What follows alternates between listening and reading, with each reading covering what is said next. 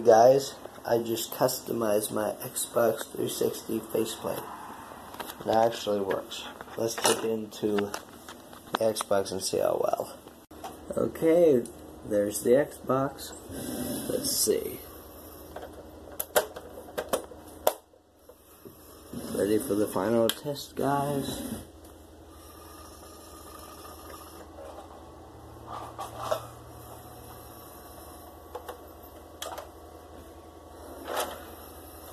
That's awesome.